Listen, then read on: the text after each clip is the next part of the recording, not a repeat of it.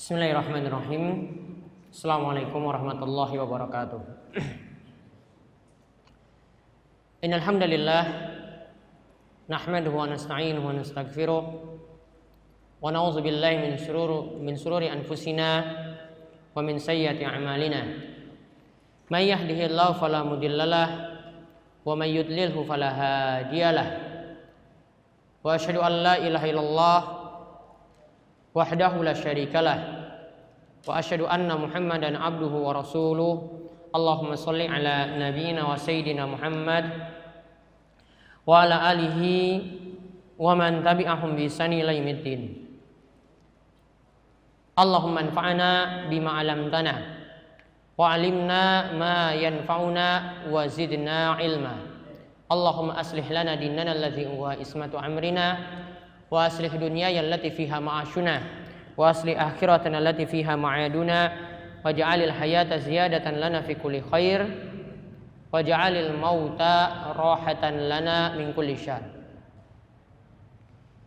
Ikhwani fid din wa akhwati fillah para jamaah sekalian yang semoga selalu dirahmati dan diberkahi oleh Allah Subhanahu wa taala.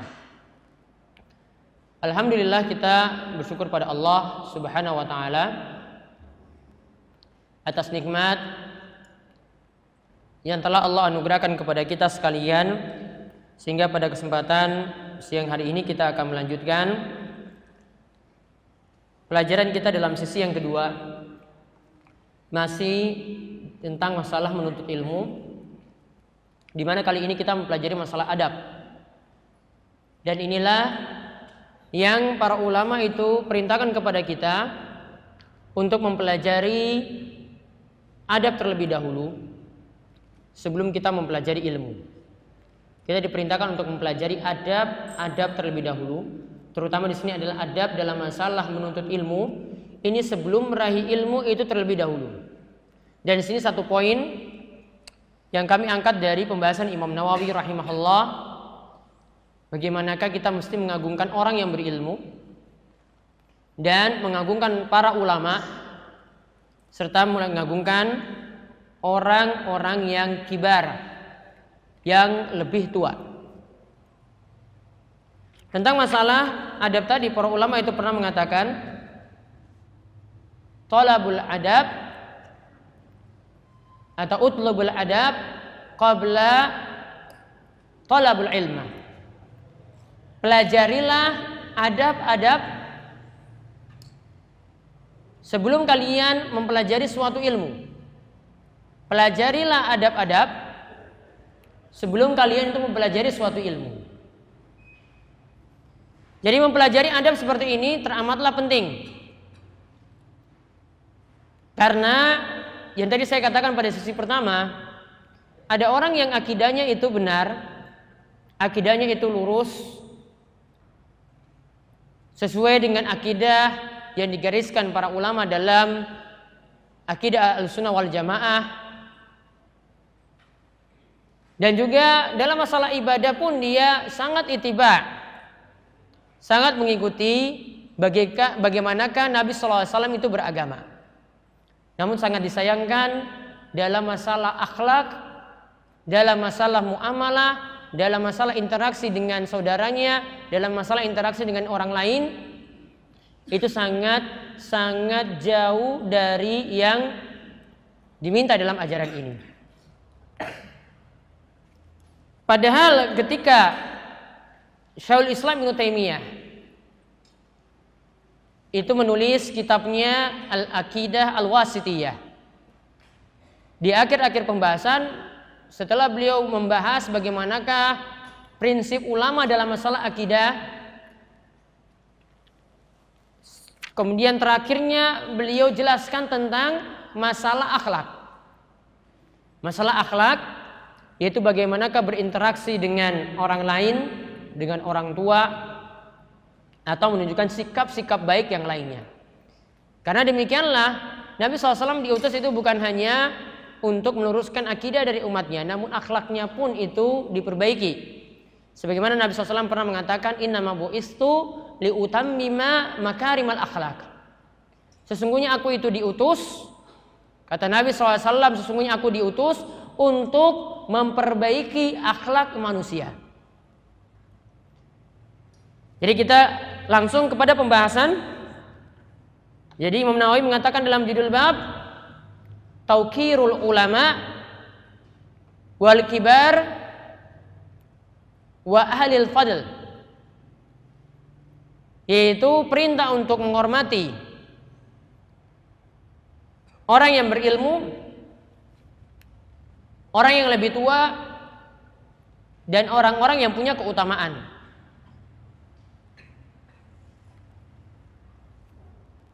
Nanti di sini akan beliau sebutkan 12 hadis. Kita akan melihat hadis-hadis tersebut satu persatu. Yaitu kita lihat hadis yang pertama dari Abu Mas'ud Uqbah bin Amr al-Badri al-Ansari.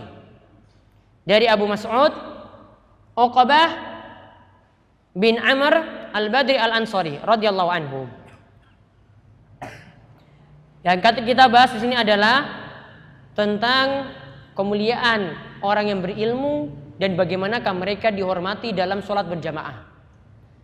Kemuliaan orang berilmu dan bagaimanakah mereka dihormati dalam sholat berjamaah. Rasulullah SAW itu bersabda, Ya ummul qawma akra'uhum li kitabillah.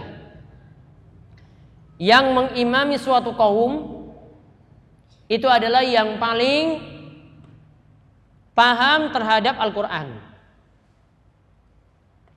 tentang masalah akra'uhum li kitabillah yang paling paham terhadap Al-Quran di sini para ulama berselisih pendapat. Ada yang katakan yang paling banyak hafalannya, dan ada yang katakan yang paling paham hukum-hukumnya. Jadi ada khilaf di antara para ulama seperti itu. Jadi lihat yang pertama kali dahulukan adalah orang yang paham kitabullah. Fainkanu fil kiroah sawa. Jika dalam masalah Al-Quran tadi sama semuanya, mungkin ada 10 orang di sini, semuanya itu sama. Yang A, yang B, yang C, semuanya sama. Maka kata Nabi SAW, jika dalam masalah kiroah, dalam masalah Al-Quran tadi itu sama, fa'alamuhum bisunnah.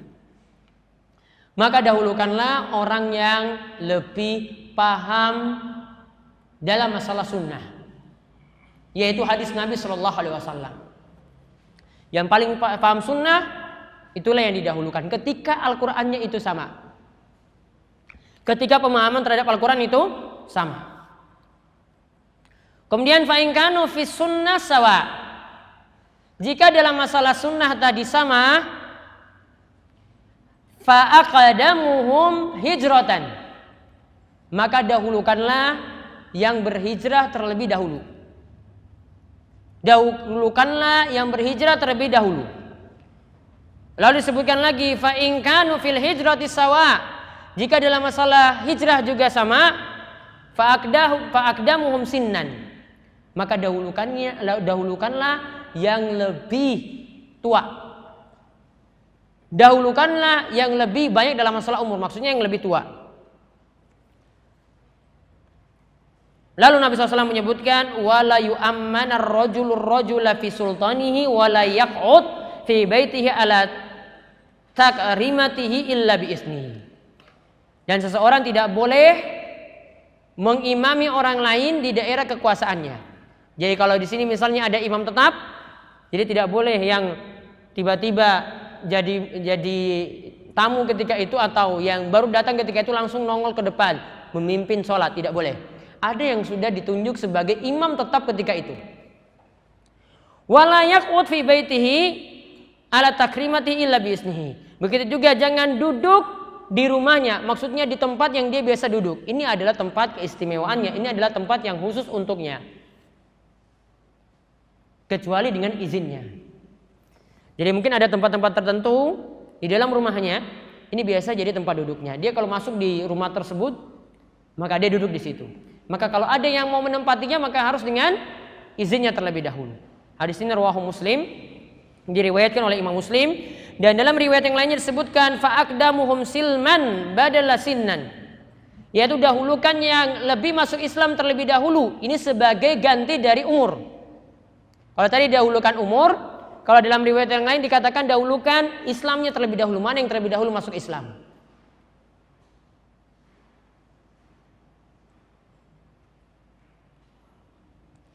Nah intinya kalau mau dirinci di sini, kaitannya dengan bahas yang kita bahas, adab yang mesti kita miliki adalah menghormati orang-orang yang berilmu. Lihat di sini prakteknya dalam sholat berjamaah.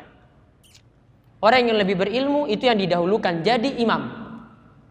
Maka ini sekaligus kata para ulama ini menunjukkan keutamaan orang il, orang yang berilmu yang luar biasa. Tidak ada yang didahulukan di sini tidak dilihat dari jabatannya, tidak dilihat dari kedudukan sosialnya, tidak dilihat dari banyak hartanya, namun didahulukan adalah orang yang berilmu ketika itu, yang paham Al-Qur'an. Baru yang paham sunnah. Baru di sini katakan yang lebih berhijrah terlebih dahulu. Baru dikatakan yang lebih tua ketika itu. Urutannya di sini yang dijelaskan oleh para ulama, urutannya kalau mau mendahulukan siapakah yang jadi imam, maka yang pertama urutannya sebagaimana dalam hadis, dahulukan yang lebih paham Al-Qur'an. Sebagian ulama katakan tadi atau bahkan di sini adalah kata kebanyakan ulama yang paling banyak hafalannya. Dahulukan yang lebih banyak hafalannya.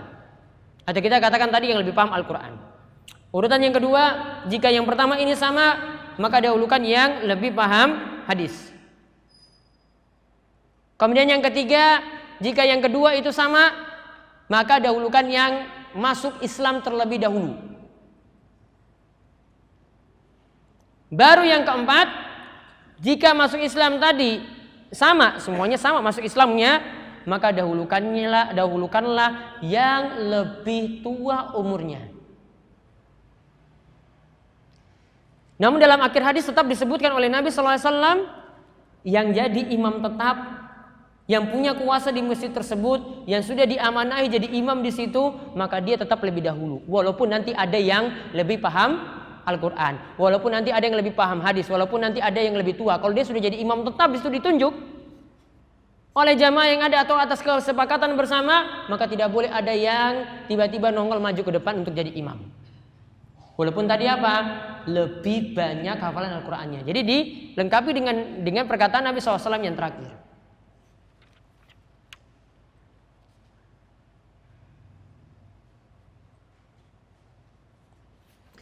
Maka ini juga sebagai penjelasan bahwasanya kita mesti mendudukkan manusia atau mendudukkan seseorang sesuai dengan kedudukannya yaitu kedudukan yang paling mulia itulah yang kita tempati tempatkan lebih depan daripada yang lainnya.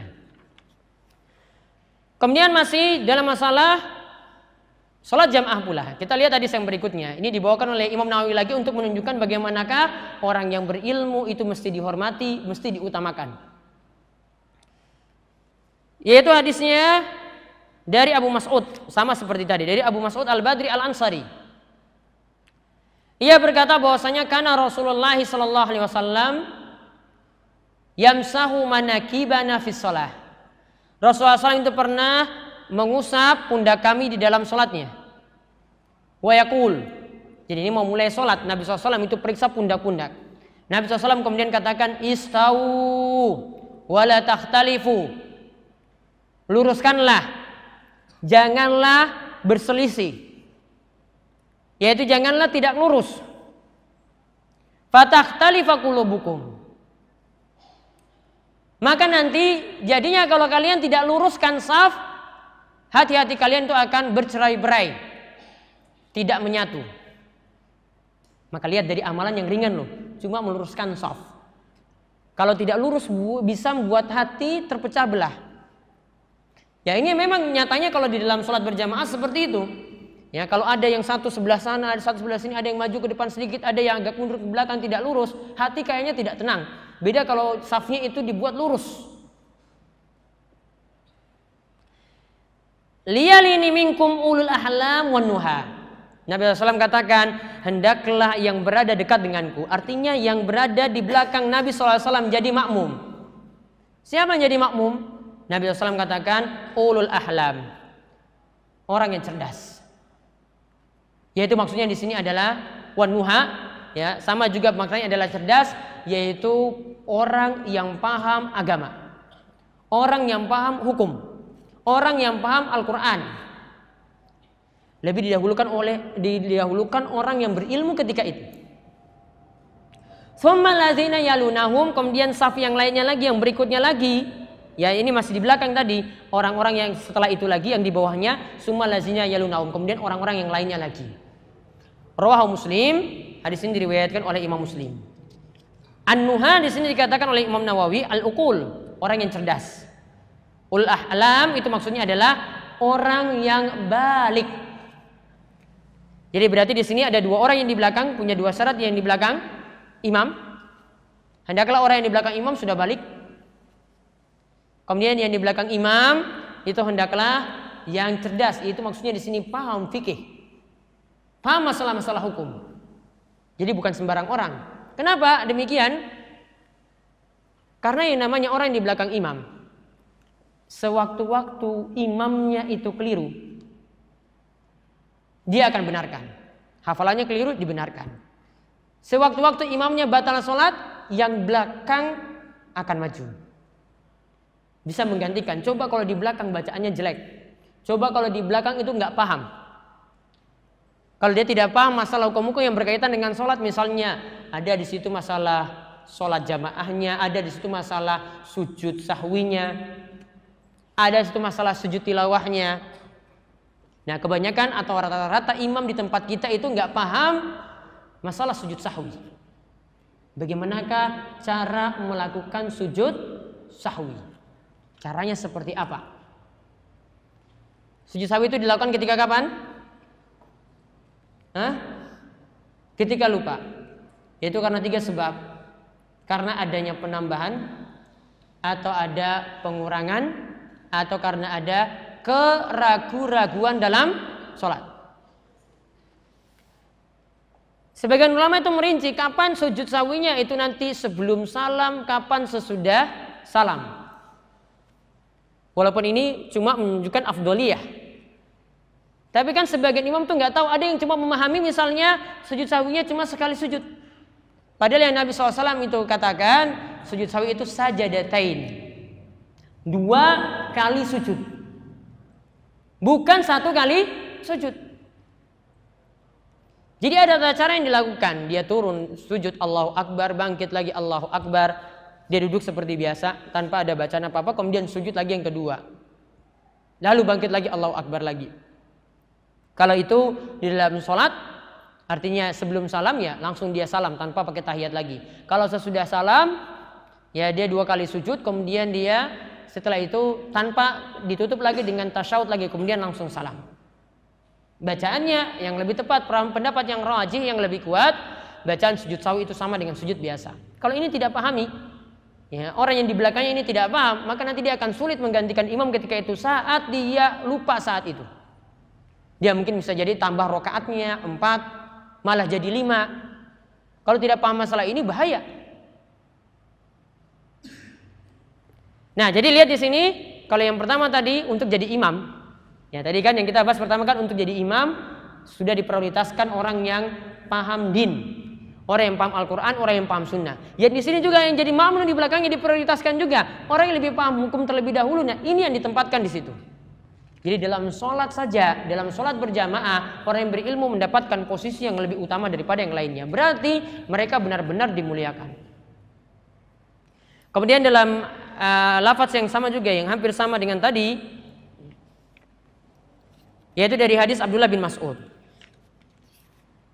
Kalau tadi itu adalah dari hadis Abu Mas'ud. Kalau ini Abdullah bin Mas'ud, beda. Tadi ini ini adalah hadis Ibnu Mas'ud, yang tadi Abu Mas'ud. Nama kunyahnya yang satu pakai Abu, yang ini pakai Ibnu. Nah, Abdullah bin Mas'ud radhiyallahu anhu itu mengatakan bahwasanya Rasulullah SAW bersabda, "Liyani liminkum ulul ahlam wan nuha, summa lazina yalunahum." Dahulukanlah yang berada nanti di belakang itu adalah orang yang sudah balik dan orang yang berilmu. Kemudian orang yang setelah itu lagi, setelah itu lagi. Dan ini Nabi SAW sebut sampai tiga kali. Lalu Nabi SAW mengatakan, Wa iyakum wahai syatil aswak. Hati-hatilah kalian dengan saling berdebat seperti yang ada di pasar. Saling berdebat seperti yang ada di pasar. Jadi maksudnya dalam masjid jangan saling berdebat seperti itu. Hadis ini diriwayatkan oleh Imam Muslim. Maknanya sama seperti hadis yang tadi. Nah tadi tentang masalah orang berilmu disinggung dalam dua hadis tadi. Sekarang kita lihat memuliakan orang yang lebih tua.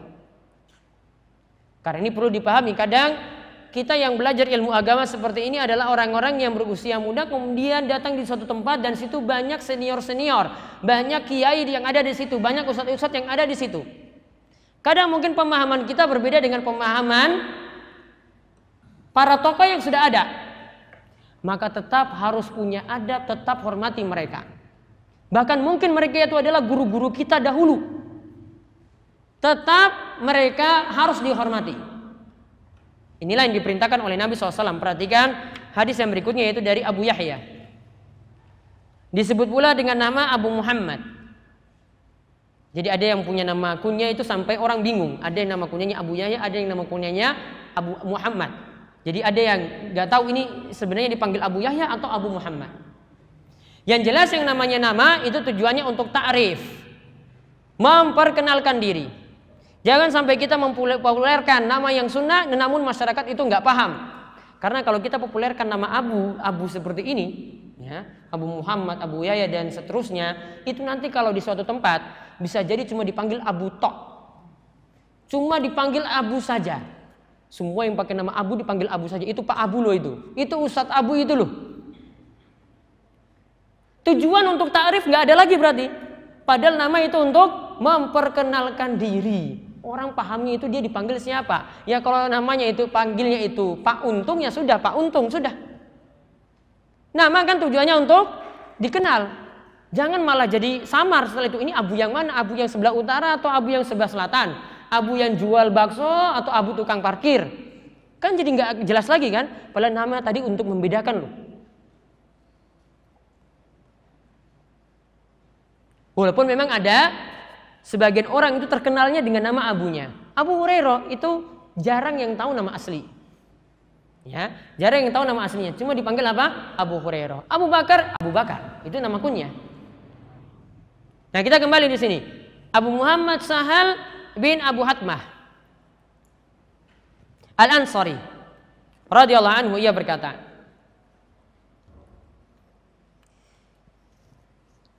Ada disebutkan di sini intalaqa Abdullah bin Sahal wa Muhayyisa bin Mas'ud ila Khaybar. Ketika itu ada Abdullah bin Sahal dan Muhayyisa bin Mas'ud. Jadi anak dari Ibnu Mas'ud. Ya, Muhayyisa bin Mas'ud. Ini mereka bertolak menuju Khaybar suatu nama daerah ya di Jazirah Arab sana dan sekarang disebut dengan Sulhun. Nah ketika itu fatafarroqa mereka berpisah. Ternyata fa'ata muhayyisa ila Abdullah bin Sahal wa huwa yatahashshatu fi damihi qatilan. Ternyata ketika itu saat berpisah Muhayyisa itu mendapatkan bahwasanya Abdullah bin Sahal itu telah mati terbunuh. Fadafanahu. Maka Muhayyisa ketika itu menguburkannya. Summa qadimal Madinah fantolaqa Abdurrahman bin Sa'al. Kemudian ketika itu tibalah ke Madinah, ingin bertemu dengan Nabi SAW, ingin laporkan bahwasanya Abdullah bin Sahal itu mati terbunuh dan sudah dikuburkan. Maka ketika itu ada yang namanya Abdurrahman bin Sahal. Dan di situ juga ada Muhayyisah yang tadi disebutkan. Dan juga di situ ada namanya Huwaisah. Kedua orang yang disebutkan terakhir ini adalah Ibnu Mas'ud. Keduanya anak dari Mas'ud, bukan Ibnu Mas'ud ya, anak dari Mas'ud. Ini kemudian mereka mendatangi Nabi SAW. Jadi ada tiga orang. Tadi yang mati itu namanya Abdullah bin Sahal. Nah, tiga orang ini ingin melapor. Yaitu di situ ada Abdurrahman bin Sahal, di situ ada Muhayyisah, dan di situ ada Huwaisah. Maka saat itu Abdurrahman ingin ngobrol pertama kali, ingin memberitakan pertama kali. Padahal Abdurrahman ini berusia lebih muda daripada Huwaisah dan Muhaisah tadi. Lebih muda daripada Muhaisah dan Huwaisah. Maka ketika itu dia mau ngomong, mau lapor, Wahai Rasulullah, mau ngomong seperti ini, kemudian Rasulullah SAW katakan, kabir, kabir. Dahulukan yang dahulukanlah yang lebih tua. Dahulukanlah yang lebih tua untuk ngobrol. Wahwa ahdasul. Padahal si Abdurrahman ini orangnya pandai ngomong. Namun tetap dahulukan kabir, kabir. Dahulukan yang lebih tua, dahulukanlah yang lebih tua. Fasa kata. Maka Abdurrahman diam. Langsung dengar sabda Nabi SAW nggak protes loh. Emangnya kenapa Rasulullah? Nggak dibantah. Kalau zaman sekarang ini kalau dengar sabda Nabi SAW masih tanya lagi. Emang benar hadisnya? Emang seperti itu pemahamannya? Emangnya kita tidak boleh ini, nggak boleh itu, diprotes. Namun kalau ini diam langsung. Fasa kata diam. Maka yang ngomong langsung ketika itu Muhaiso dan Huwaisah. Ya, yang ngomong itu langsung Muhaiso dan Huwaisah. Mereka fatakallama, mereka dua itu kemudian mengatakan pada Nabi SAW, ya, atahlifuna watastahikun Qatilakum apakah kalian berani bersumpah bahwasanya Abdullah tadi itu terbunuh? Lalu disebutkan hadisnya secara lebih lengkap. Intinya hadisnya tidak terbatas pada ya apa yang disebutkan oleh Imam Nawawi di sini. Mutafakun alaih hadis ini mutafakun alaih diriwayatkan oleh Imam Bukhari dan Muslim. Maka lihat di sini yang didahulukan yang lebih tua dalam berbicara. Nah, prakteknya seperti ini bagaimana? Ya, ketika kita berada dalam rumah, Ketika ingin berbicara di situ ada mungkin kerabat-kerabat kita kumpul, sedulur-sedulur kita kumpul di situ. Maka kalau kita itu masih lebih muda daripada mereka-mereka tadi sudah biarkan mereka yang ngomong, yang mengajukan pendapat, yang berbicara ini dan itu. Kalau mereka meminta tanggapan kita baru kita beri tanggapan. Ya, ini di antara bentuk akhlak yang mesti kita perhatikan. Termasuk juga tadi yang seperti saya sebutkan ketika kita berada di suatu tempat, ya kita mungkin membawa suatu ajaran yang benar, namun ketika itu ada Pak Kiai di situ, ada ustadz yang lain di situ yang mereka lebih senior, bahkan mereka adalah guru-guru kita. Maka perlu ada penghormatan kepada mereka. Sowan ke tempat mereka, datang ke tempat mereka, berkunjung, ya bertanya tentang keadaan mereka, atau mungkin memberikan hadiah-hadiah kepada mereka. Biar mereka merasa bahwasanya mereka itu dihormati. Dan kita kalau ingin berdakwah di situ akan semakin dimudahkan. Beda kalau tidak ada penghormatan sama sekali. Wah, saya kan lulusan pesantren yang lebih bagus daripada mereka. Ngapain saya datang ke situ? Kalau seperti ini akan membuat tanggapan-tanggapan yang jelek dari mereka nanti mereka akan isukan yang macam-macam mungkin ya atau ada isu-isu negatif yang nanti akan muncul di masyarakat ketika itu.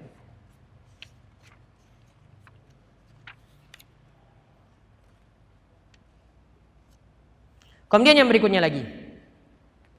Ini tentang masalah tentang pemuliaan juga terhadap orang yang berilmu. Yaitu dari Jabir radhiyallahu anhu bahwasanya Nabi SAW kana yajma baina rajulaini min qatlai Uhud. Pernah Nabi SAW itu ingin menyatukan dua orang yang mati dalam perang Uhud dalam satu kubur. Jadi Nabi SAW menyatukan. Jadi ini sudah disatukan. Yakni fil qabri. Yaitu disatukan dalam satu kubur. Nah sekarang masalahnya. Apakah seperti ini dibolehkan? Jawabannya. Kalau keadaan darurat. Tidak ada tempat yang lainnya. Cuma tempat itu saja. Maka boleh dikubur masal seperti ini. Ini adalah di antara dalilnya. Dan ini juga disebutkan oleh uh, uh, Al-Qadi Abu Suyad dalam matan Al-Ghaya wa Takrib. Bila katakan seperti ini pun masih boleh berdalil dengan hadis semacam ini. Kemudian sekarang masalahnya kan nanti ada yang dimasukkan lebih dahulu nanti kan ada yang belakangan. Siapa yang dimasukkan dalam kubur terlebih dahulu? Maka ketika itu yang ditanyakan siapa yang dimasukkan dalam kubur terlebih dahulu. Maka Nabi SAW tanya, ayyuhuma aksar akhdan lil Quran. Siapa yang lebih paham dari Al-Quran? Siapa yang paham Al-Quran dari mereka berdua? maka faiza ushira lahu ila ahadihima qaddamahu fil lahd maka ketika itu ada yang menyarat, uh, memberikan isyarat bahwasanya orang ini yang lebih paham Al-Quran maka dialah yang pertama kali dimasukkan ke dalam kubur Rawahul Bukhari hadis ini diriwayatkan oleh Imam Bukhari. Maka kaitannya dengan bahasan yang kita kaji kali ini, hadis ini menunjukkan bagaimanakah pemuliaan terhadap orang yang berilmu. Yang lebih memahami Al-Quran itu yang lebih didahulukan. Yang lebih paham Al-Quran itu yang lebih dahulukan untuk masuk kubur ketika ingin dikubur berbarengan seperti itu. Dan ini yang mengagungkannya Rasulullah SAW. Rasulullah SAW makanya tanya, siapa di antara mereka berdua yang lebih paham Al-Quran?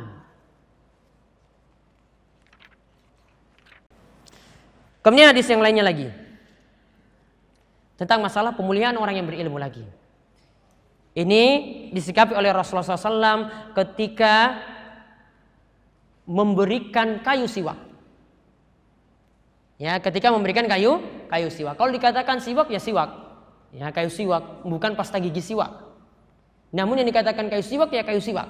Maka hadis-hadis yang menyebutkan keutamaan uh, menggunakan kayu siwak ketika seseorang itu misalnya uh, ingin mengerjakan sholat, ingin membaca Al-Quran dan ada beberapa waktu tertentu untuk bersiwak itu lebih utama. Artinya ini untuk menghilangkan bau mulut, bau mulut yang tidak enak.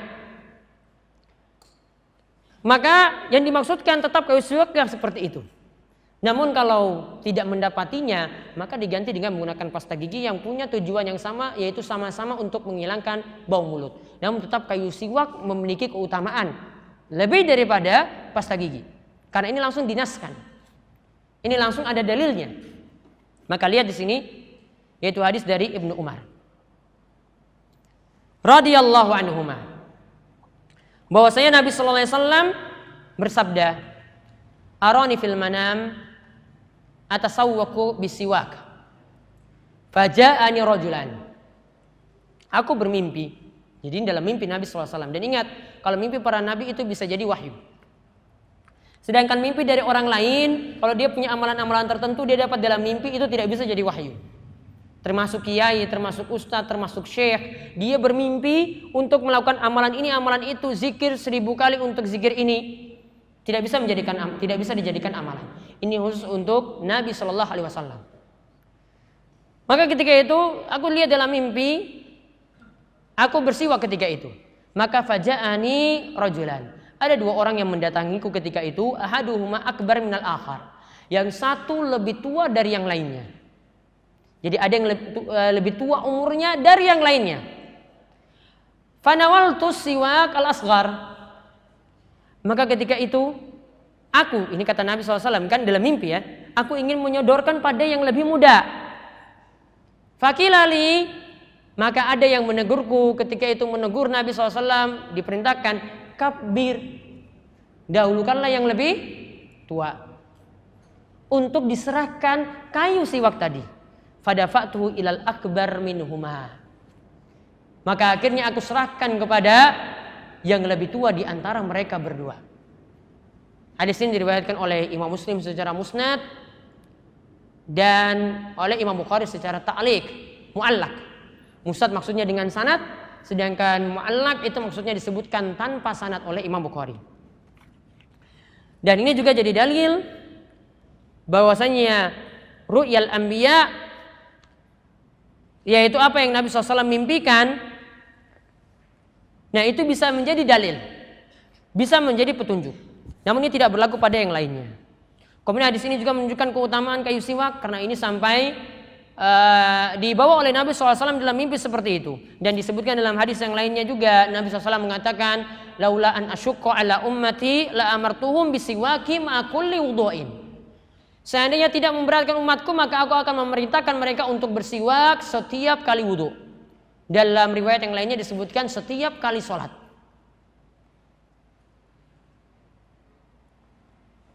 Bahkan dikatakan oleh Imam As-Sun'ani dalam kitabnya Al-Badar Al-Munir. Bahwasanya tentang siwak. Faedahnya atau keutamaannya atau manfaatnya itu bisa disebutkan lebih dari 100 hadis. Lebih dari 100 hadis. Kata Imam As-Sun'ani seperti itu. Imam Sun'ani yang menulis kitab Subulus Salam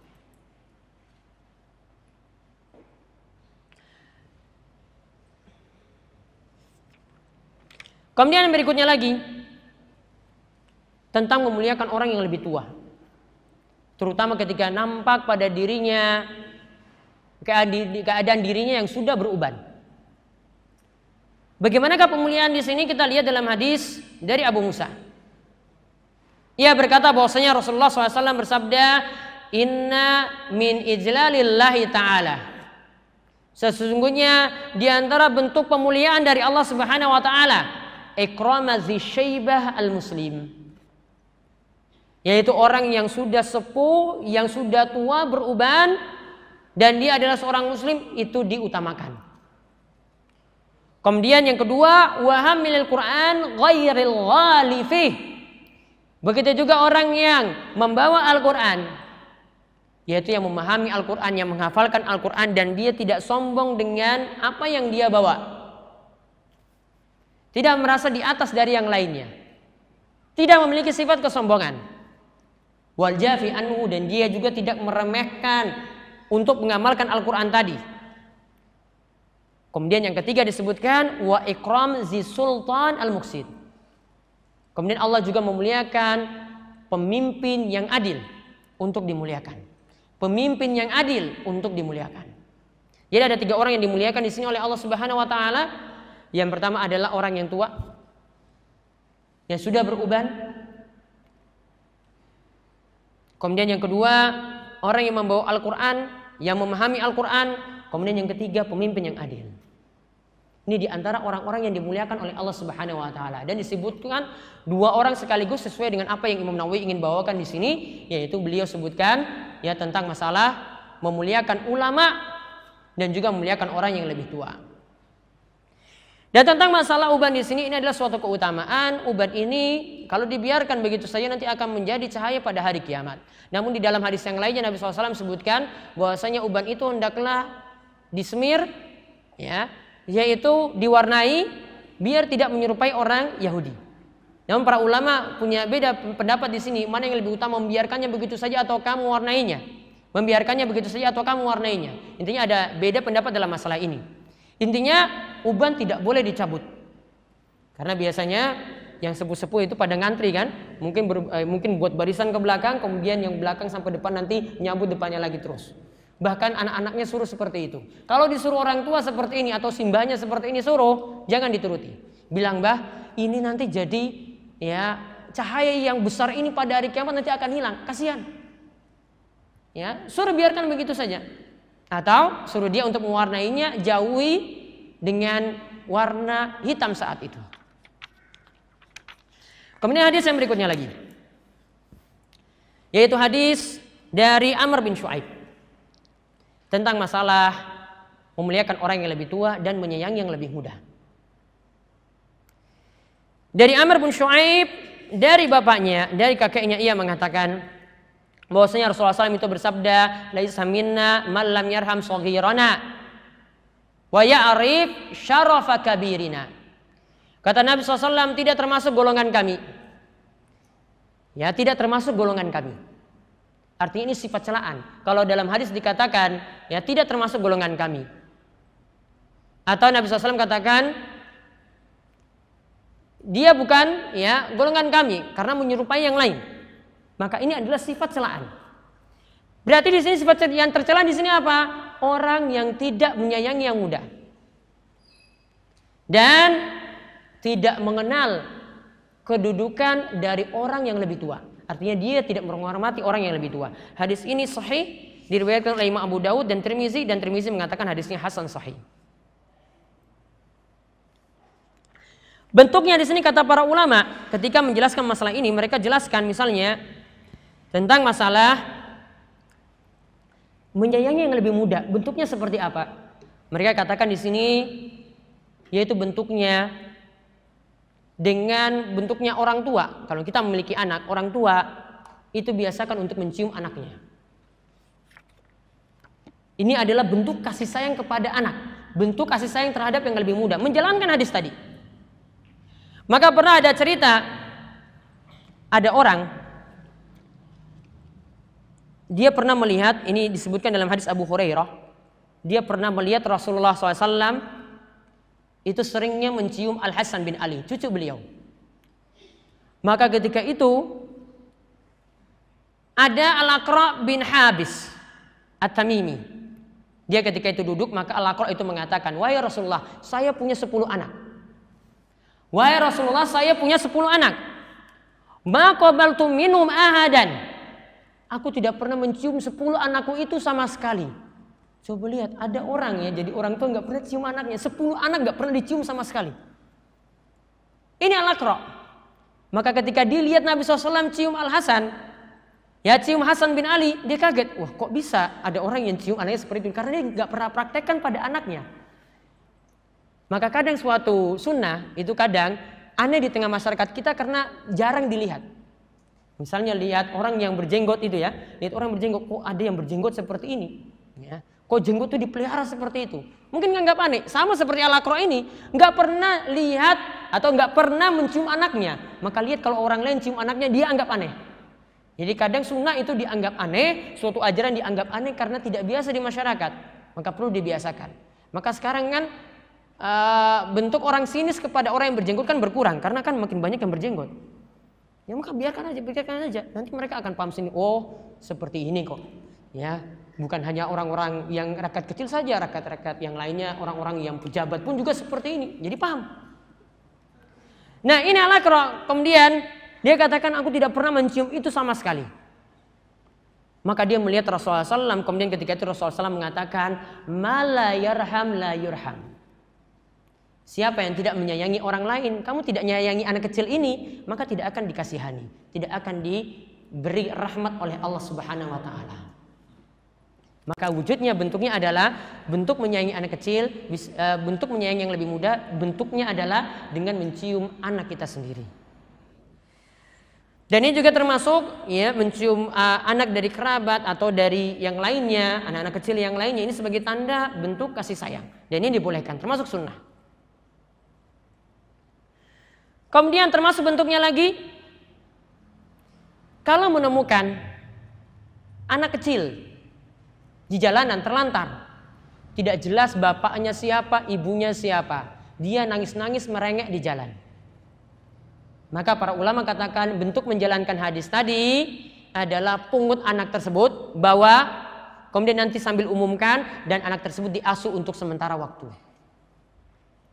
Ini bentuk menyayangi yang lebih muda, termasuk yang menemukan anak di jalanan kemudian diambil ketika itu. Dan bahkan para ulama itu, ulama Syafi'iyah punya pembahasan dalam masalah fikih tentang orang-orang yang terlantar, termasuk di sini orang-orang gila pula. Ya, itu harus ada yang memeliharanya, memeliharanya. Hukumnya fardu kifayah. Kalau sampai di negeri ini tidak ada yang ingin memelihara atau ingin menjaga, ingin memberi santunan kepada orang-orang gila seperti ini yang biasa jalan di jalanan, semuanya kena dosa. Berarti kalau ada yang belajar ilmu kejiwaan untuk kerja di rumah sakit jiwa itu boleh. Ya kan? Bahkan bisa jadi ini adalah suatu yang wajib. Karena siapa yang nanti akan menanggung mereka? Siapa yang memelihara mereka? Termasuk di sini juga yang para ulama menjelaskan bentuknya lagi adalah untuk menyayangi yang lebih muda. Jangan pisahkan antara induk dan anaknya ketika anak ini masih butuh dengan induknya. Ini mereka sebenarnya perlakukan dalam masalah hewan. Yaitu ketika ada anak dari induk ini belum bisa dipisah. Dia masih butuh pada induknya. Maka anak ini tidak boleh dijual sendirian atau betinanya tadi induknya itu dijual sendirian harus berbarengan. Tidak boleh dipisah. Kaitannya dengan manusia seperti sebagai seperti apa? Kalau ini untuk hewan yang tidak berakal saja seperti itu, maka ini menunjukkan bahwasanya orang tua janganlah berpisah jauh dengan anaknya, maka tidak tepat atau kurang tepat ya memundukkan anak sebelum anak tersebut balik. Ya, memundukkan anak sebelum anak tersebut balik. Karena kalau belum balik, itu biasanya masih butuh pada orang tua. Ya, ini masih butuh pada orang tua. Maka bagusnya tunggu sampai dia balik baru disuruh dia merantau. Itu lebih bagus. Ya, karena lihat di sini permisalannya seperti ini. Uang ini saja untuk hewan saja tidak boleh dipisah, apalagi dengan manusia yang punya akal. Kemudian kaitannya dengan ya perkataan Nabi SAW wa ya'rif sarfa kabirina maka kita diperintahkan untuk memuliakan yang tua. Bentuk memuliakan yang tua itu seperti apa? Sebenarnya nanti disebutkan dalam bab setelah bab ini Imam Nawawi menyebutkan tentang masalah perintah untuk menziarahi atau berkunjung kepada orang-orang soleh. Ya perintah menziarahi uh, menziarahi atau mengunjungi orang-orang soleh. Di antaranya untuk sebagai kelanjutan dari bab ini. Jadi ini juga bentuk pemuliaan terhadap orang yang lebih tua. Jadi banyak-banyak mengunjungi orang soleh ya kemudian mengambil faedah-faedah ilmu yang bermanfaat dari mereka bisa jadi akhlak mereka bisa jadi ilmu juga kita dapat ketika itu bisa jadi dengan melakukan tanya jawab pun kita dapat faedah-faedah yang banyak saat mengunjungi mereka kemudian hadis yang berikutnya lagi ini hadis dari yang mengisahkan tentang kisah Aisyah ketika dia menyikapi pengemis dengan berbeda ada yang lebih tua ada yang lebih muda beliau menyikapinya dengan berbeda hadisnya dari Maimun bin Abi bin Abi Syabib. Bahwasanya Aisyah marra biha sailun. Ketika itu pengemis-pengemis itu datang menemui Aisyah, meminta kepada Aisyah. Fatathu kisrah. Maka yang pertama kali diberikan oleh Aisyah adalah sepotong roti. Wa marra biha rajulun alaihi siyabun wa hayatun. Namun ketika itu ada orang lagi yang lebih istimewa datang dengan ya pakaian dan keadaan yang lebih baik. Maka ketika itu Aisyah meminta orang tersebut, ayo duduk. Fa'akala, kemudian Aisyah memberi dia makan. Maka ketika itu ditanyakan kepada Aisyah radhiyallahu anha. Ya ditanyakan kepada Aisyah radhiyallahu anha, kenapa kamu memperlakukan orang yang berbeda? Kok yang pertama cuma kasih sepotong roti, kok yang kedua itu diajak makan? Dan ingat di sini ini di sini tidak dijelaskan mana yang usianya lebih tua, tidak dijelaskan. Pokoknya kedudukannya berbeda. Maka Aisyah ketika itu mengatakan, Rasul sallallahu alaihi wasallam itu pernah bersabda, "Anzilun nasa manazilahum." Posisikanlah orang sesuai dengan kedudukan yang pantas. Maka perkataan ini berlaku umum. Ada yang lebih tua, kita harus tahu bagaimanakah posisi menempatkan dirinya. Ada yang lebih muda, kita tahu juga bagaimana kamu menyayanginya. Jadi memperhatikan kondisi atau umur seseorang itu nanti akan kita tahu di mana posisi yang tepat untuk orang tersebut. Misalnya, dalam duduk di majelis semacam ini. Ya, ini tidak ada saling berebutan untuk soft pertama. Kalau misalnya ada yang sepuh datang dan tempat sudah sempit, Bagaimanakah bentuk kita menjalankan hadis ini? Maka orang yang sepuh tadi suruh masuk kemudian duduk duduk di tempat yang mungkin kita duduki dan kita ketika itu serahkan tempat padanya. Ini bentuk memuliakan dia. Menempatkan dia sesuai dengan posisinya. Karena kalau dia suruh berdiri, maka ini berarti menyiksa dia. Termasuk juga dalam antrian misalnya kalau kita yang lebih muda, lebih kuat, dapat tempat lebih dahulu, yang mungkin cuma beda dua antrian saja, mungkin persilakan dia lebih dahulu. Dan ini yang biasanya diterapkan di Saudi Arabia kalau dalam masalah antrian perempuan didahulukan ya dan yang tua-tua itu didahulukan. Yang masih muda, yang masih kuat nanti belakangan. Namun yang tua itu biasanya didahulukan. Nah, ini memposisikan seseorang sesuai dengan tempatnya. Hadis ini diriwayatkan oleh Abu Daud. Namun dikatakan dalam hadis ini bahwasanya uh, Imam Nawawi katakan Maimun ini tidak bertemu dengan Aisyah. Namun ada riwayat lain yang menguatkan intinya makna dari hadis ini bisa dipakai.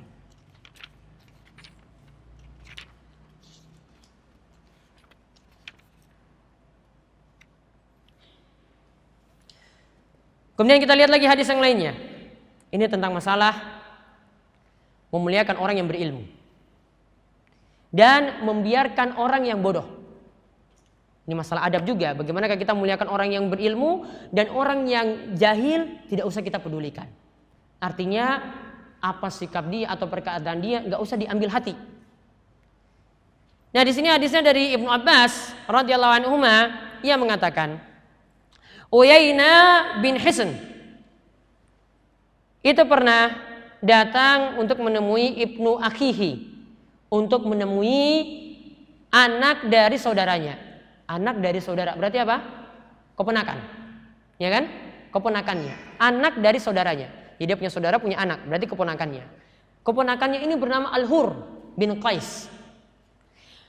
Al-Hur ini, Al-Hur ini adalah orang yang sangat dekat dengan Umar bin Khattab. Al-Hur ini sangat dekat dengan Umar bin Khattab. Jadi pokoknya orang yang dekat. Jadi kalau mau apa-apa dengan Umar, maka hubungilah Al-Hur di sini. Maka ketika itu dia juga dikatakan di sini sebagai qurra orang yang paham Al-Qur'an, ashabu majelis Umar wa musyawaratihim. Dan dia itu sebagai orang yang biasa bermajelis dengan Umar dan kalau Umar ngajak diskusi, biasa ngajak Al-Hur bin Qais. Berarti dia punya keutamaan yang besar. Sampai diajak bermajelis, sampai diajak ngobrol dengan Umar bin Khattab ketika itu. Padahal Umar seorang khalifah. Kedudukannya lebih tinggi, namun dengan Al-Hur di sini dia sangat menghormatinya karena ini adalah orang yang berilmu. Maka di sini disebutkan maka ketika itu tadi yang namanya Uyainah pamannya tadi dari paman dari Al-Hur itu mengatakan bahwa saya, saya ingin bertemu dengan Umar. Coba minta izinlah kepada Umar, boleh nggak aku itu bertemu dengannya? Boleh nggak aku bertemu dengan Umar? Maka ketika itu diberilah izin.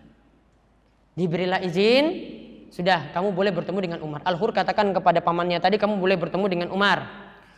Maka ketika dia bertemu dengan Umar, dia mengatakan kepada Umar, "Fawallahi ya Umar, wahai Umar, ya Ibn al-Khattab, demi Allah engkau tidak pernah adil dalam membagi sesuatu. Wala tahkum fina bil adil. Engkau tidak pernah berhukum dengan adil." Umar seorang pemimpin dikritik sama rakyat Emosi. Faghadiba Umar. Umar marah.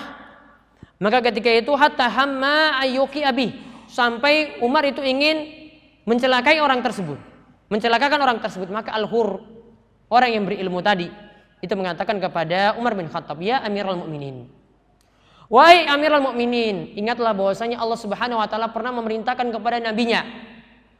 Allah perintahkan khudzil afwa wa'mur bil urfi wa'mur bil urfi wa a'rid anil jahilin. Allah perintahkan apa? Ini perintah kepada Nabi SAW. Mudahlah memberikan maaf. Itu yang pertama. Kemudian perintahkanlah kebajikan-kebajikan. Itu yang kedua. Kemudian wa a'rid anil jahilin. Kemudian berpalinglah, jauhilah dari orang yang bodoh. Orang yang tidak tahu, orang yang tidak sopan, orang yang tidak punya akhlak. Tiga hal ya. Ini disebutkan dalam ayat ini, ini disebutkan dalam ayat ini. Khuzil afwa, berilah maaf. Orang yang tadi ya uh, memberikan kritik seperti itu, berilah maaf ya wahai Umar. Perintahkanlah dalam kebajikan yang kedua, berpalinglah dari orang yang bodoh. Gak usah ditanggapi, maksudnya seperti itu, sudah biarin saja. Maka wa inna haza minal jahilin. Lalu Hur itu mengatakan, "Wahai Umar, ini termasuk orang-orang yang bodoh." Wallahi ma jawazaha Umar inatalaha alaihi wa kana waqafan inda kitabillahi ta'ala. Maka ketika Umar diingatkan oleh rakyatnya ini ya, ini Hur, ini orang bawahannya kan? Diingatkan oleh orang bawahannya. Lantas ketika itu dia tidak pernah lagi melampaui ayat ini. Jadi dia selalu mengikuti ayat ini, memberikan maaf, memerintahkan pada kebajikan dan tidak peduli pada orang yang bodoh, membiarkan orang yang bodoh begitu saja. Sudah, biarin dia begitu saja. Umar selalu seperti itu setelah disampaikan seperti tadi. Lalu di sini dikatakan bahwasanya dan Umar itu sangat perhatian sekali dengan kitabullah. Maka lihat orang yang berilmu perkataannya itu didengar. Pemimpin sekalipun kalau yang berbicara ini adalah orang yang berilmu didengar juga oleh Umar bin Khattab. Ditegur langsung ketika itu. Umar, Bukankah Allah telah memerintahkan kepada nabinya untuk memberikan maaf? Memerintahkan pada kebajikan dan membiarkan begitu saja orang-orang yang bodoh sudah nggak usah ditanggapi. Maka ketika itu Umar langsung dengar. Patuh pada kitabullah. Yang nasihati siapa? Rakyatnya. Tidak sombong Umar ketika itu. Seandainya Umar punya sikap sombong maka dia akan merendahkan. Kamu kok cuma rakyat saja kok nasihati saya seperti itu. Tidak. Kemudian hadis yang terakhir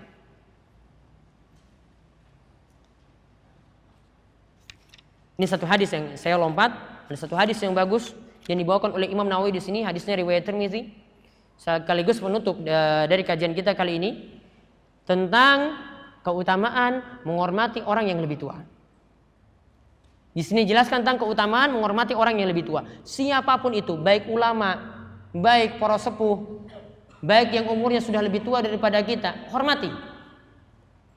Dari Anas radhiyallahu anhu ia berkata bahwasanya Rasulullah SAW bersabda, ma akrama syabun syaikhan. Di sini tidaklah seorang pemuda itu menghormati yang lebih tua karena umurnya. Illa qayyadahallahu lahu mayyukrimuhu inda sinnihi. Melainkan nanti ketika dia sudah berusia tua. Yang muda ini sudah berusia tua, maka yang muda-muda nanti lagi akan menghormatinya. Jadi al jaza min jinsil amal. Balasan ini sesuai dengan amalan seseorang. Kalau di waktu mudanya dia hormati yang lebih tua, maka nanti ketika dia yang berusia tua, yang muda-muda pun nanti akan menghormati dia. Al jaza min jinsil amal. Balasan itu sesuai dengan amalan perbuatan. Dan ini yang jadi faedah yang besar. Maka kalau kebanyakan mungkin ada yang tua itu diremehkan oleh yang muda-muda. Mungkin gara-gara di waktu muda dia selalu melecehkan yang tua. Tidak menghormati yang lebih tua. Maka akhirnya keadaannya seperti itu. Maka milikilah sifat yang sebaliknya. Hormati yang lebih tua.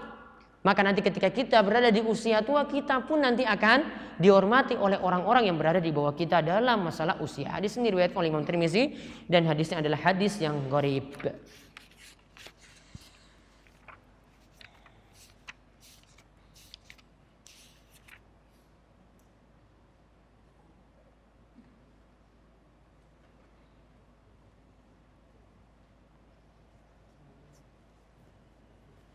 Nah itu saja yang kita bahas pada kesempatan kali ini. Masih tersisa satu hadis sebenarnya. Saya sebutkan saja hadisnya. Tadi saya lompat. Yaitu hadis dari Abu Samurah bin Jundub. radhiyallahu anhu ia mengatakan, Laqad kuntu ala ahdi Rasulullah SAW gulaman. Di masa Rasulullah SAW itu ada seorang anak. Fakuntu ahfazu anhu. Aku sebenarnya lebih hafal daripada dirinya. Fama yamna'uni minal qawli illa anna hahuna rijalan hum asannu minni. Aku dahulu kata Abu Said di sini. Di masa Rasulullah SAW aku yang paling muda. Aku yang paling muda. Ketika ada suatu masalah, aku itu lebih tahu tentang masalah itu, namun aku diam saja karena aku masih muda ketika itu. Aku biarkan yang lebih tua dariku itu untuk ngomong, walaupun sebenarnya aku tahu, ya jawaban tentang masalah tersebut. Lihat contoh dari Abu Said. Rasulullah SAW sebenarnya membiarkan dia begitu saya sudah. Dia Rasulullah SAW tahu orang ini, ya Abu Said ini pasti tahu jawabannya. Tapi Rasulullah SAW membiarkan dia, diam saya sudah, kamu diam. Biarkan yang lebih tua darimu untuk berbicara. Biarkan mereka yang berbicara dalam rangka apa? Untuk menghormati yang lebih tua. Maka tadi posisi kita ketika kita kumpul dengan orang banyak. Ada yang lebih tua daripada kita ya maka hormati mereka untuk berbicara hormati mereka untuk mengemukakan argumen ya tanggapan dan selanjutnya yang lainnya. Seperti itu ya. Jangan kita dahulukan bicara. Ini di antara bentuk adab. Maka dengan kita memperhatikan ada pada semacam ini, ini hadis yang terakhir adalah hadis mutafakun ali diriwayatkan oleh Imam Bukhari dan Muslim. Maka dengan memperhatikan semacam itu akan semakin membuat kita membuat ilmu kita itu semakin barokah. Kita pun nanti akan mendapatkan kemuliaan ya walaupun saat itu kita mungkin lebih paham dalam suatu masalah daripada yang lebih tua. Nanti kalau mereka beri kesempatan barulah ketika kita itu ketika itu kita berbicara.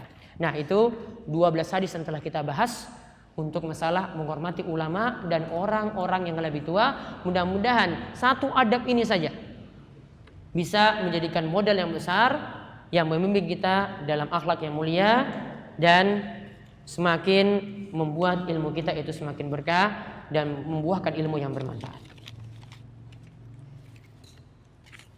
Baik, saya jawab pertanyaan-pertanyaan yang disebutkan sebelumnya.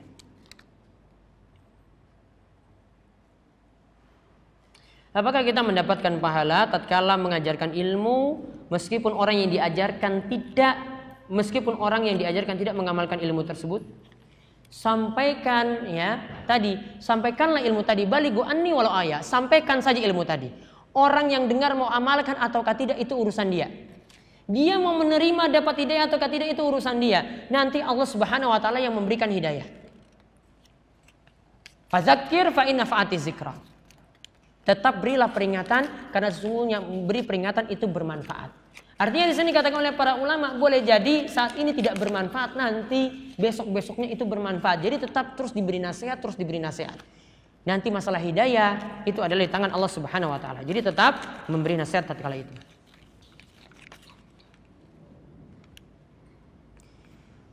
Mohon tips jika kita tinggal di daerah yang penduduknya sangat awam terhadap sunnah, sedangkan kita bukan termasuk orang yang punya pengaruh di situ. Sedangkan kita ingin mendakwakan sunnah sedikit demi sedikit.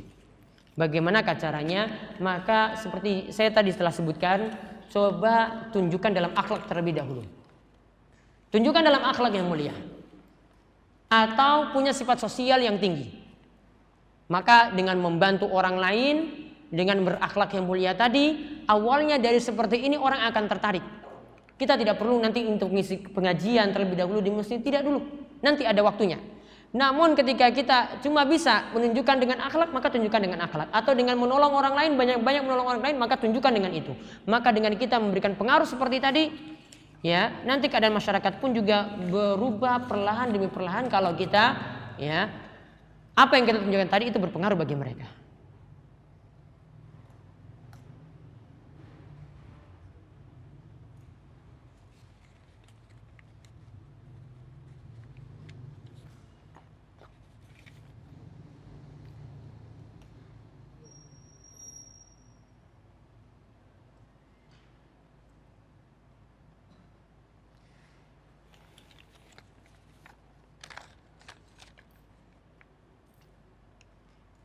Apabila hendak mengamalkan ilmu, tetapi bertentangan dengan orang tua, mana yang harus didahulukan?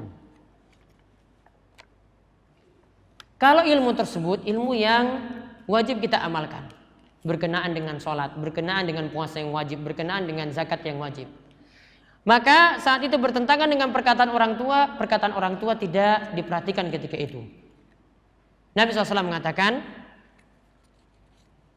bahwasanya tidak boleh mentaati makhluk ya fi maksiatillah dalam berbuat maksiat kepada Allah Subhanahu wa taala. Artinya di sini kalau selama itu wajib bagi kita dan ini berseberangan dengan pemahaman orang tua, maka tetap wajib tersebut dijalankan. Namun kalau masih bisa dikompromikan, artinya ini adalah perkara yang sunnah saja. Antara kita mesti, misalnya orang tua tuntut kita untuk jadi PNS. Dengan kita pingin berwirausaha atau berbisnis ketika itu. Manakah yang mesti didahulukan ketika orang tua tuntut seperti tadi maka tetap permintaan orang tua itu dipenuhi karena tidak ada masalah apa-apa di situ. Ini termasuk bentuk berbakti pada orang tua. Ya, jadi selama itu tidak bertentangan, tidak uh, bukan merupakan bentuk maksud kepada Allah, maka tetap uh, perkataan orang tua tadi dituruti. Namun kalau berseberangan, nah itu baru tidak dituruti.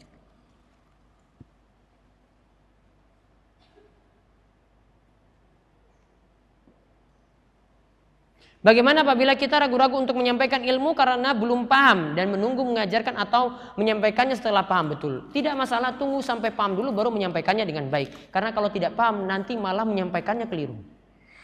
Apakah menuntut ilmu ke kampus juga termasuk visabilillah? Visabilillah kalau yang kita maksudkan dalam hadis-hadis tadi adalah menuntut ilmu agama. Ya, karena dikatakan di situ siapa yang keluar ya untuk menuntut ilmu, ya kemudian uh, dia menuntut sampai dia nanti dia kembali dicatat sebagai visabilillah. Itu tidak lain dan tidak bukan itu adalah menuntut ilmu agama. Tidak bisa dipahami dengan ilmu dunia.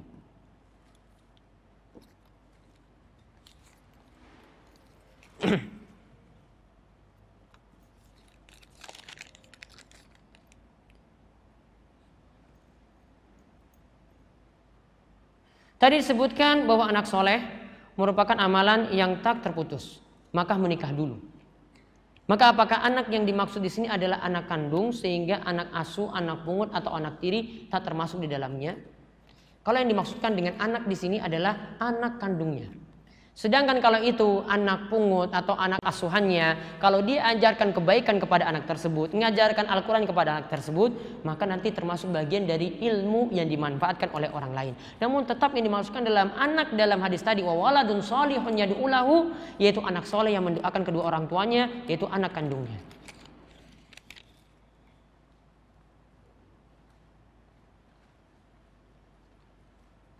Bagaimana jika seorang tidak bisa punya anak? Bagaimana ia bisa mendapatkan kiriman pahala? Apakah jika dia memiliki anak angkat dapat bermanfaat baginya? Kalau dia memiliki anak angkat, lalu anak ini diajarkan kebaikan, lalu ilmu ini dimanfaatkan, kemudian anak ini selalu mendoakan bapak angkatnya atau orang tua angkatnya, maka tetap dapat manfaat lewat doa dan lewat ilmu yang diajarkan. Tidak seperti yang saya sebutkan langsung, kalau ini anak kandungnya dan ketika itu ya, dia yang membesarkannya dengan biayanya dan seterusnya, kemudian anak ini jadi anak yang soleh, maka amalannya apa pun yang dilakukan maka itu langsung jadi milik orang tuanya. Karena anak itu adalah aset berharga bagi orang tua.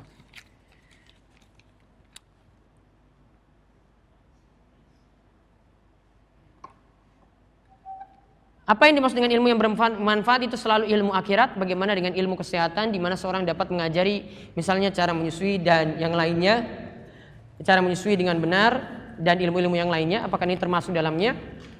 Kalau kita lihat dalam hadis dikatakan ilmu yang dimanfaatkan berarti ilmu apa saja. Artinya kalau ada ilmu berhitung di situ dimanfaatkan orang lain dan ini dipakai terus dipakai terus maka bisa terhitung sebagai amal yang tidak ada putusnya. Namun yang lebih mendekati adalah ilmu agama, tetap adalah ilmu agama.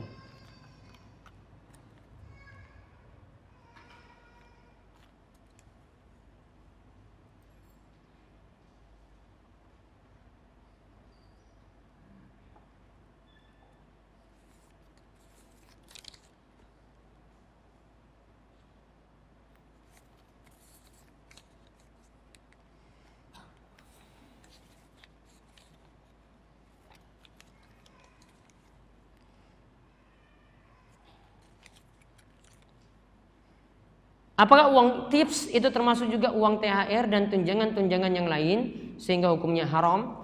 Kalau THR, walau alam saya belum pernah tinjau. Ya jadi masalah nanti e, parcel dari pihak lain yang diserahkan pada pejabat.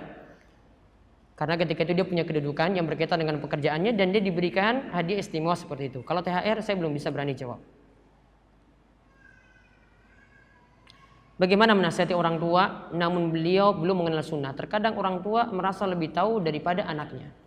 Maka tetap bentuk penghormatan seperti yang saya sebutkan tadi. Memuliakan orang yang lebih tua tetap harus ada. Sehingga ketika kita ingin mengajarkan sesuatu tidak boleh dengan kalimat-kalimat yang kasar. Tidak boleh juga bentuknya adalah seperti kita ngajar orang lain. Ini orang tua kita. Orang yang mendidik kita juga sejak kecil. Maka caranya bagaimana? Barangkali dengan nasihat-nasihat yang tidak langsung. Bisa jadi kita tunjukkan dengan kita rajin sholat berjamaah di masjid. Orang tua misalnya belum rajin sholat. Maka dia pun nanti ada punya akan punya perasaan. Ya, nanti akan diomongkan mungkin dengan tetangga-tetangga. Ini anaknya itu rajin sekali ke masjid, kok bapaknya itu belum? Karena mungkin dapat omongan seperti itu, bapaknya juga nanti akan ikut. Saya tadi katakan bukan lewat dakwah langsung. Tunjukkan juga akhlak yang mulia. Yaitu akhlak berbakti pada orang tua. Tunjukkan kalau misalnya kita ini anak kuliah. Tunjukkan bahwasanya bisa sukses juga dalam kuliah dan juga bisa belajar agama dengan baik. Ya, jadi ketika kuliah IPK-nya juga bagus, bukan IPK-nya itu melarat. Ya, bukan IPK-nya itu di bawah tiga atau di bawah dua. Kasihan orang tua coba kalau telepon, "Nak, IP-mu berapa?" Coba jawab coba. Dua sekian. Paling sudah ini kan. Ditambah lagi, ngaji lagi, disalahkan ngajinya. Maka tunjukkan bagaimana? Tunjukkan punya akhlak yang mulia. Belajarnya juga harus benar. Harus pintar-pintar bagi waktu. Maka di kuliahnya, ya, di kuliahnya nanti harus pintar-pintar bagi waktu. Ya, cukup saja. Kalau memang ingin sukses dunia dan akhirat, ya, ya di kuliah ya cuma kuliah saja. Ngaji nanti juga di sore hari. Tidak usah tambah dengan ekstrakurikuler macam-macam. Gak usah panjat-panjat gunung.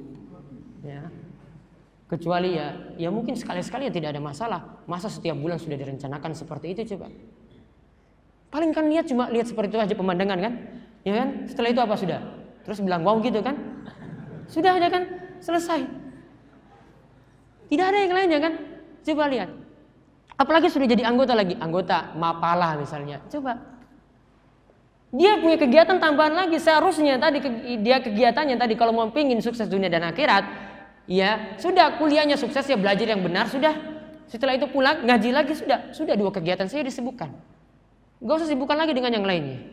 Jangan terlalu memperrepot diri juga. Ya nambah lagi saya mau ingin ini biar bisa uh, berani ngobrol di hadapan orang lain. Kamu ngaji nanti kalau disuruh ceramah bisa ngobrol ya juga tetap bisa ngobrol. Cuma belajar seperti itu saya kok harus masuk ke organisasi-organisasi yang banyak memakan waktu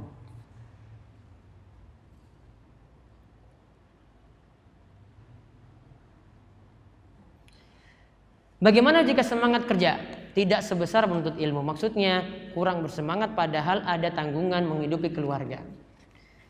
Kadang kerja ini menjadi wajib. Ya, tidak mungkin dia minta untuk resign keluar kemudian ingin untuk belajar saja di pondok ya. Ini solusi yang tidak tepat. Kalau itu memang sudah jadi e, nafkahnya maka dia sekarang ngatur waktu dengan baik. Sekarang kalau pergi ke kantor kerja di Jogja ini nggak makan waktu banyak. Ya kan nggak banyak macetnya kan kalau di Jogja. Ini taruhlah ini orang Jogja ya yang tanya. Kira-kira pergi masuk kantor jam 8 kan, pulang kan jam 4. Sisa waktu di malam hari masih maghrib kan masih sholat. Isya juga kan masih sholat. Maghrib sampai Isya itu cari tempat pengajian. Yang bisa ngisi waktu antara maghrib dan Isya. Setiap hari insya Allah bisa. Atau mungkin satu pekan sekali lah kalau nggak mau. Mungkin entah di Sabtu pagi, Ahad pagi, atau Sabtu sore, Ahad sore. Bisa isi dengan waktu seperti itu. Jadi tinggal waktunya saja yang dibagi. Ya, jadi jangan merasa berat dengan kerja tadi, tetap masih bisa atau menggunakan media-media yang lainnya. Ada sekarang dengan radio, ada sekarang dengan uh, YouTube, ada sekarang dengan website-website. Bisa belajar dengan seperti itu. Namun tetap jangan meninggalkan majelis ilmu. Karena orang mendapat orang ketika berada di majelis ilmu itu punya faedah yang besar. Ya. Beda ketika dia uh, kalau dia cuma belajar belajar cuma dengar saja, ini tidak dapat faedah yang banyak. Bahkan mungkin tidak banyak dapat kebaikan. Coba kalau misalnya dia di dalam majelis kan tahu bagaimana akhlak dari gurunya, akhlak dari yang berbicara dan seterusnya bisa dia tiru. Kalau cuma online saja tidak tahu. Ya, cuma dengar saja, dengar saja, tidak paham. Akhlak-akhlak tidak bisa dicontoh. Maka dulu para ulama itu belajar kepada Imam Ahmad, kebanyakan mereka cuma belajar adab dan akhlaknya. Datang nggak nyatat, namun cuma lihat Imam Ahmad itu bagaimana sih kelakuannya, bagaimana sih akhlak baiknya. Itu saja yang dia contoh dari Imam Ahmad. Ya tidak sampai nggak ada yang banyak nyatat ketika itu. Ada sebagian yang tidak banyak nyatat. Cuma lihat saja ini tingkah laku ulama ini seperti apa. Dicontoh ketika itu. Maka belajar kalau bisa tetap dengan bermajelis. Namun kalau tidak bisa ya cari jalan-jalan seperti itu. Ya, namun tetap harus dibimbing dengan guru.